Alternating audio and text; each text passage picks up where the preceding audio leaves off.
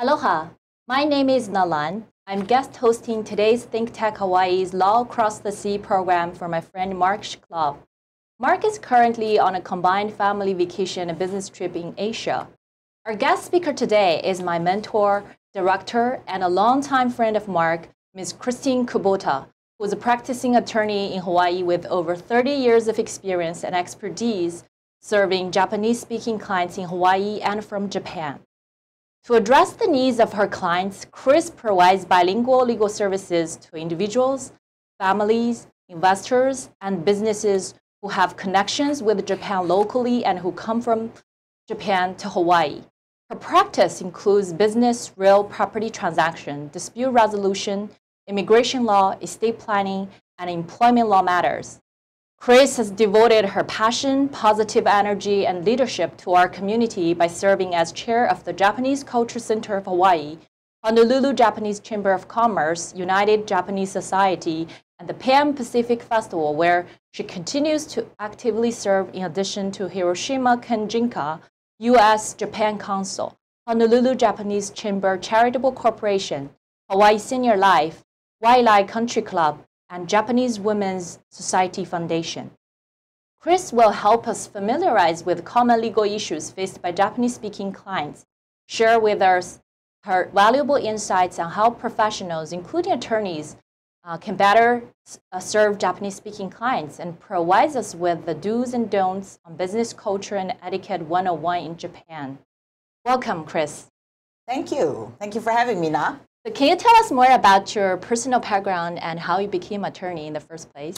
Okay, um, I am a foreign-born American, which means I was born and raised in Japan, and my father is from Hawaii. So uh, my father spoke to me in English, and my mother spoke to me in Japanese. So I was bicultural and bilingual from when I was a little girl.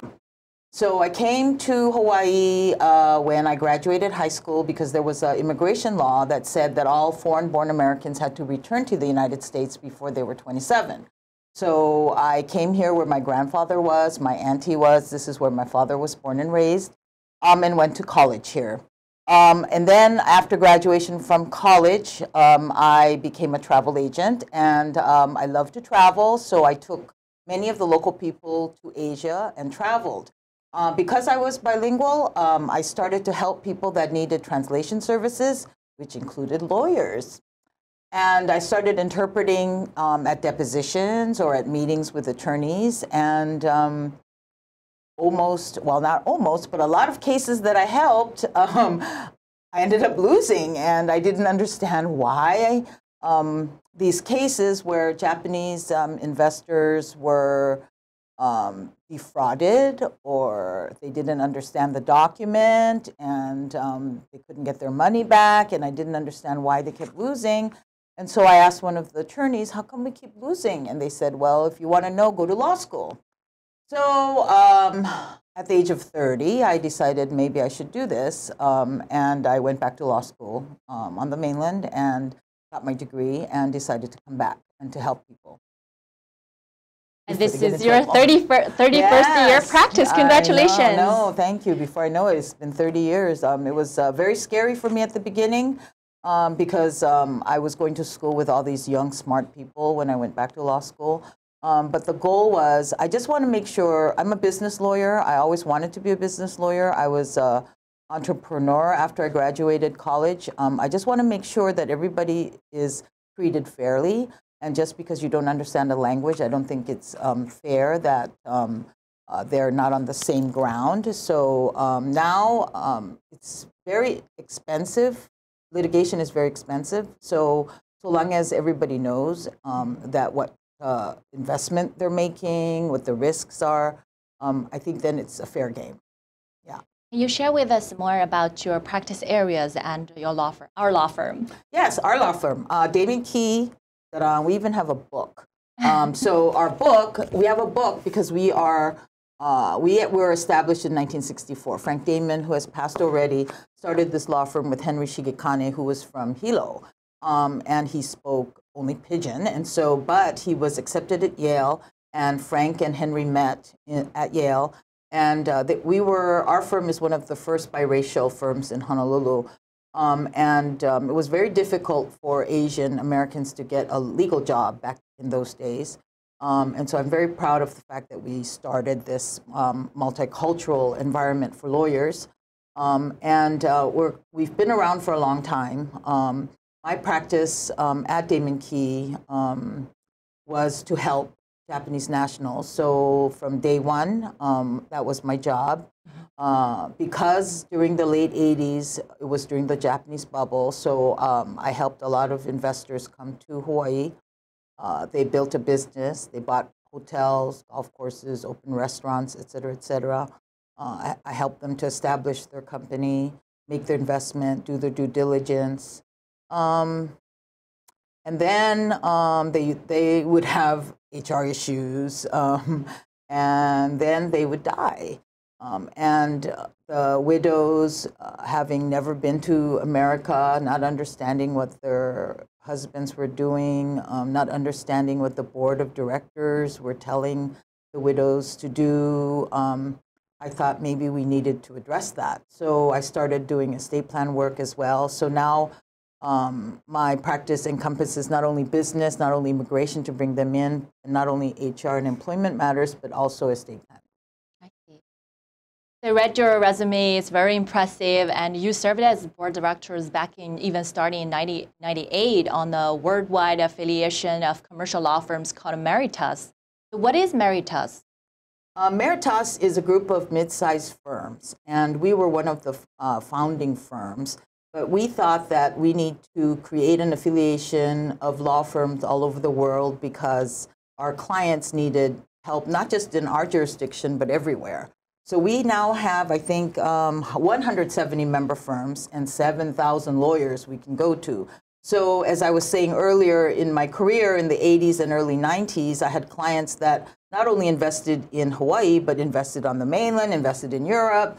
So I could just make a call and say, hello, Sweden, are you there? Or hello, France, are you there? Or hello, New York, are you there? And I don't have to worry um, about uh, doing background work because everybody that goes and becomes a member of Meritas um, has been checked, mm -hmm. um, and we know that we can rely on them and trust them.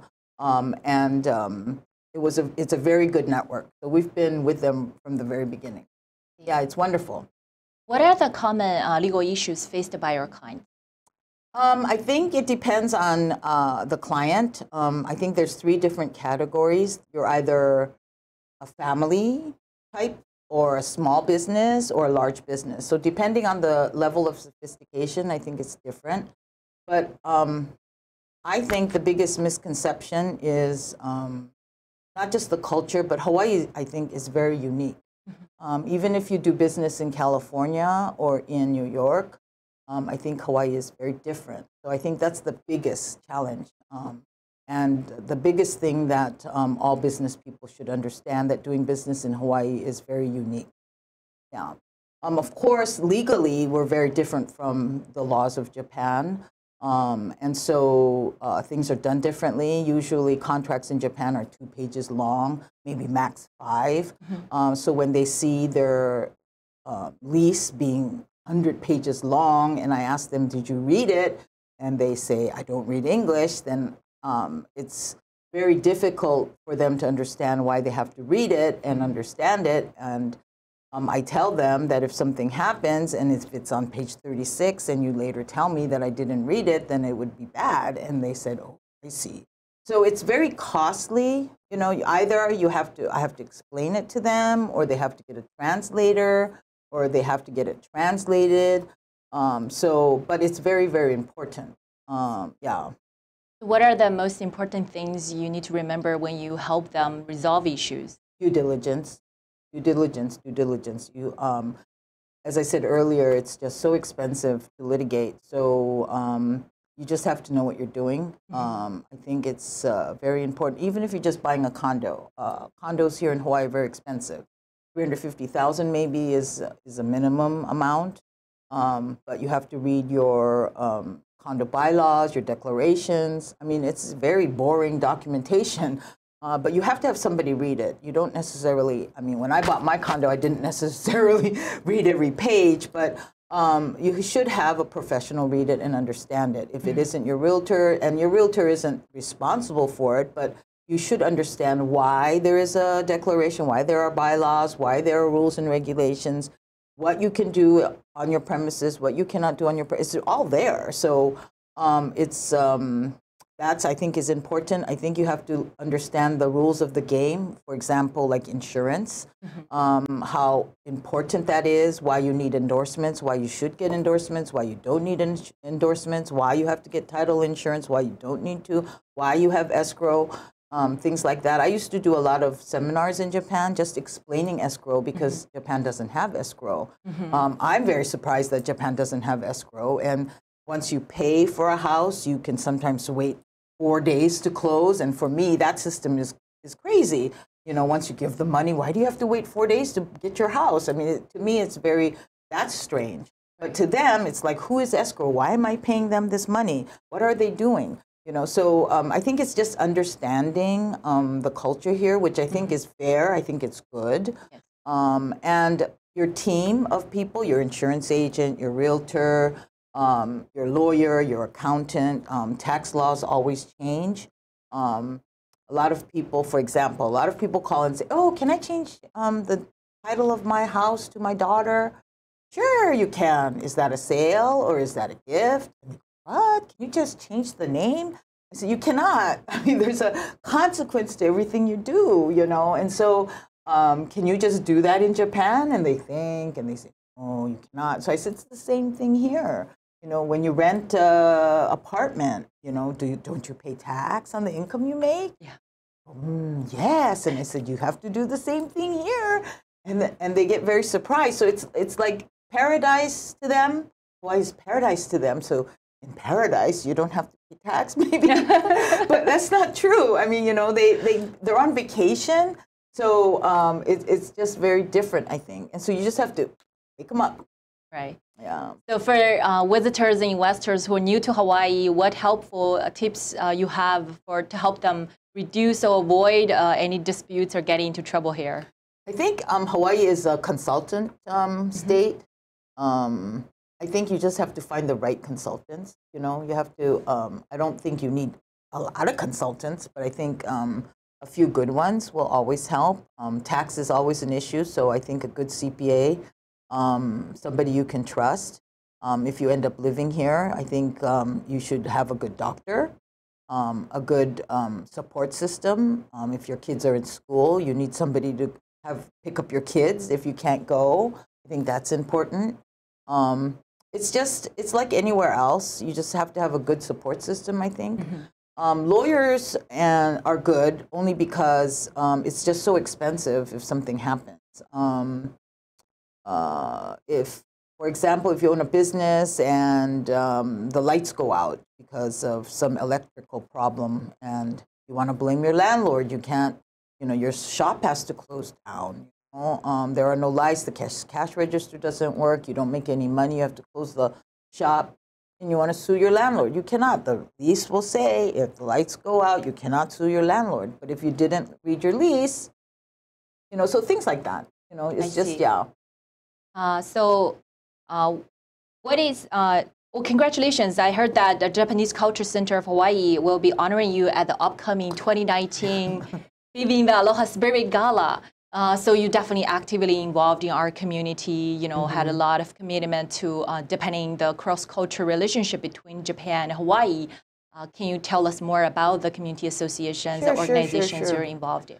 Um, it all started because um, one of my um, bosses at work, when I was an associate, um, one of the directors um, needed a date to go to these uh, uh, Japanese American functions, these nonprofit organizations. So I went with him, and I ended up meeting a lot of interesting people. And that was with the Japanese Chamber of Commerce, and um, it, that is a business organization, but it's more than that. I think it's a place where you can meet a lot of um, local businesses and local people and um, different types of businesses. So if I needed a dentist or a painter or you know, uh, it was a great place to just meet people for everyday things. So I just got to, I just really got along with everybody. And before I knew it, I was in different committees and um, I participated a lot and um, I became the chair there. Um, from there, it was kind of like a, I don't know, it was kind of like a virus, I guess. Um, I just thought giving back to the community mm-hmm. was something I really liked doing. Mm-hmm. Um, I liked um, helping seniors. I liked helping children. Um, I liked helping students, um, especially those that were interested in the Japanese culture. Mm-hmm. Um, I thought because of my bilingual and bicultural background, I thought maybe, you know, um, people wanted me to help and see if, how much I could, you know, teach the kids um, about Japan. Um, back in those days, you know, people didn't go to Japan as readily as they do now. Mm-hmm. Um, so just talking about Japan and talking about the food, I would go to the senior care home and talk about the bentos. I mean, that kind of thing was just very easy for me. It was some simple. It was just my time. Um, and then I was chair for the Culture Center, and the Culture Center has just wonderful um, things at their um, at their uh, at their museum, and um, I learned so much about my own grandfather, my own grandmother. Um, there's a, they have a beautiful library that you can do your own research, and I just it's just so deep, um, and you kind of find out your roots. You kind of find out why you are how because, you know, you find out who you are by reading about what they did and what they did for you. Um, so I just got very interested in that. This year, um, I'm being honored with a variety of people like Alan Wong and Alan Oshima um, and the youth um, baseball team, softball team. I'm, so it's, it's really a, a, a, hodgepodge of people, but I think they all in their own way gave to the community and um, were leaders in what they did. So I think it's, I'm really thankful that I'm um, being honored with them. Um, it'll be fun because there will be all these little softball kids, you know. I see. We'll learn a little bit about baseball, right. I think. Okay, so we'll have a short break uh, due to the commercial and come back. Thank okay. you. Aloha, I'm Lauren Pear, a host here at ThinkTech Hawaii, a digital media company serving the people of Hawaii. We provide a video platform for citizen journalists to raise public awareness in Hawaii. We are a Hawaii nonprofit that depends on the generosity of its supporters to keep on going. We'd be grateful if you'd go to thinktechhawaii.com and make a donation to support us now. Thanks so much.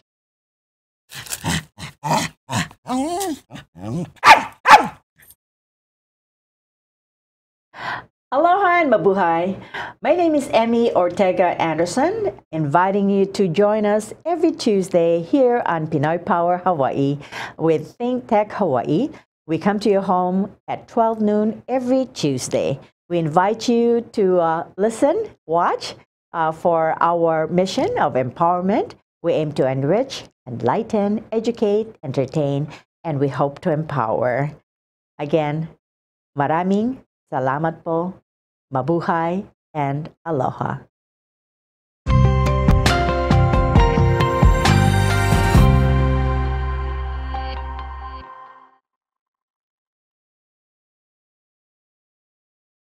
Welcome back to our Law Across the Sea program. Today we have uh, Christine Kubota, practicing attorney with 30 years of experience conducting Hawaii and Japan in her practice. Uh, so Christine, you probably need to work with a lot of professionals in Japan, you know, as a collaboration to serve your clients.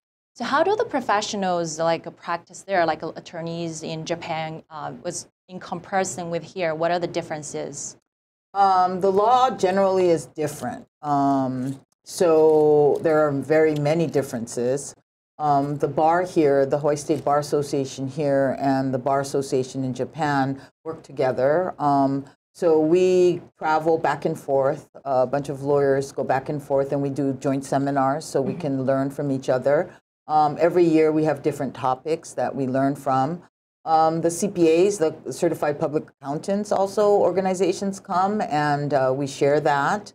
Uh, we do um, visits with their courts. They do visits with our courts. So we have a pretty good relationship. Mm-hmm. Um, and uh, we do a lot of like programs. Um, realtors probably come. Uh, Japan didn't have a jury system until recently, so when they first they wanted to learn, so they came and um, they asked uh, the judges here about how the jury system works here, um, things like that. We collaborate a lot. Um, I think two years ago, we have a very um, intense tax uh, four-day seminar here that we've we've been holding for many many years with many uh, judges from the mainland and many lawyers from the mainland coming. Um, it's a four-day tax seminar, but we just started to make it bilingual. So we have a one-day seminar with Japanese CPAs and attorneys that attend. So it's become very international. I think um, all there's not just Japanese, but many people from all over the world invest in Hawaii. So I think everybody's concerned about um, about cross-cultural issues. Um, so um, it's kind of a great place for all of us to meet and discuss things. So Japan is also a very popular destination for our people in Hawaii. so for individuals uh, who want to go to Japan to visit or for businesses who want to make an investment there, do you have some general good advice for them or some do's and don'ts they should be aware of before they spend their money? Well, um, when I was at the chamber, we used to have seminars on how you're supposed to bow and how you're supposed to give your business cards and uh, don't forget your omiyage, right? So how you're supposed to be wrapping things. So I think those things um, are basics. I think there are a lot of books on it. I think uh, the community colleges have classes on it. So if you don't know anything, I think it's good to read through the basics. Um, but um, I think it's if it's business, I think the Japanese business people are very sophisticated. So um, and obviously, I think most of the time you're going to be speaking English. Um, so it's not a necessity that you speak the language, um, and they're very um, they're very um, courteous, and so I don't. I think you just have to go with the flow, and I think it just depends on who you're dealing with. But I think the basics are um, the business and the bowing and things like that. Where to sit, I think, is another issue that a lot of people ask me about, um, and um, just know again just like when they come here i think you just need to know who the consultants should be who you should be speaking with. I think double checking everything just because one person says so. I mean there's bad people everywhere i think.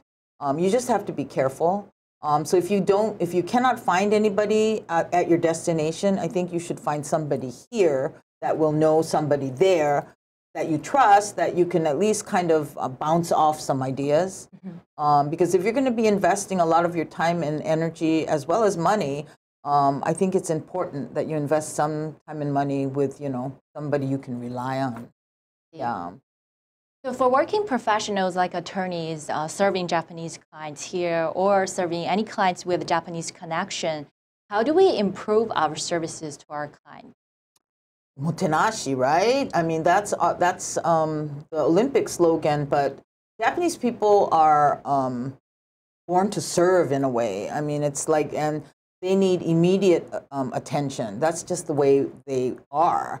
Um, so a week is too long. Um, and so it's very difficult um, for americans to understand that when they ask, oh, is it done yet? Is it done yet? Um, it's not done yet, but they need to get things done right away, especially if they're from the city.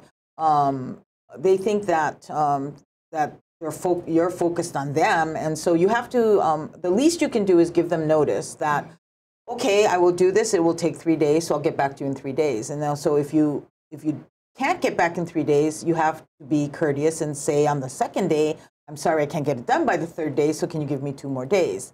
Um, so that's, I think, is, is very key. Um, it's just that they're very fast paced, and Hawaii is very slow paced. So the first thing I t- teach them is Hawaiian time.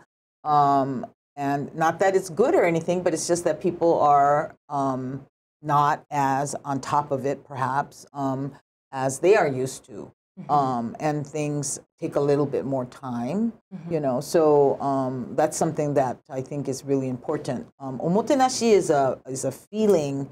Um, I'm sure you've gone to Japanese restaurants, right? I mean, you know, so it's like they will think way ahead of you, you know. So if you are eating sashimi, then they have to make sure that the correct shoyu is there, and it's the shoyu for the sashimi and not the shoyu for the other thing or whatever. I mean, it's just go way ahead of you that um, that they're thinking. So they expect you are thinking that way too, right? So um, so it's kind of like a game. You have to like think ahead, think ahead, think ahead, and see. You know um, who's winning, um, which is hard, um, especially when you have when you need time to do research and and law is not black and white you know so um, and they know that, but it's just you have to be very specific and tell them that um, if I had a magic wand, everything would be wonderful, but I don't have a magic wand. Um, but it's better safe than sorry, so um, it's always good to double check. I think. Mm-hmm. So you must have a lot of trips, uh, you know, back to Japan. Can you share with us some uh, interesting ones or the most memorable ones that strikes? Well, out? I don't know. Um, I go maybe three to four times a year. Um, the funniest thing was I, I had a client that came to see me many, many times. He loved Hawaii. He had many businesses here, and he would come to visit my office all the time. Um, as I said earlier, they're in the in, they're in the vacation mode, right? So uh, they're in com- they're come in shorts and slippers and t-shirts. We would have business meetings, blah blah blah. So I would visit the one time, the first time I went to visit him in Japan, and I met him in my hotel lobby, and I'm looking for him, looking for him. Can I find him? I'm thinking, where is he? Where is he? I know him. I've met him like a million times, and then here's this dude in a three-piece suit, you know, with this necktie and a little chief thing here, and I'm looking at him. I'm going, "Is that you?" and I'm thinking, "Wow, what happened to you?" And of course, when he's in his own background, he's like this totally different businessman. You know, and and no wonder he's you know a successful businessman because and he has like five secretaries with him. You know, and so you know, it reminded me that you know these men are successful, right? So Mm-hmm. kind of weird, but that was one of the funniest things. Another one was you know, uh, immigration is a very heartwarming um, area of practice, as you know. Yes. Yeah, and it really, really, I really love doing it. Yeah, it really changes somebody's life. You know, so I, I hope I can continue to. And I'm so glad you joined us. Yes, I'm definitely, yeah. So I think, uh, thank you so much for your time. And uh, we've learned a lot today. And I'm definitely looking forward to visit Japan. You know, that's on my agenda next year. So exciting. And thank you so much, uh, everybody, for listening to our show today. And uh, we'll be back in two weeks, and Mark will be back. Uh, thank you so much. It's such a pleasure to have Christine here today. you. And uh, thank you, everybody.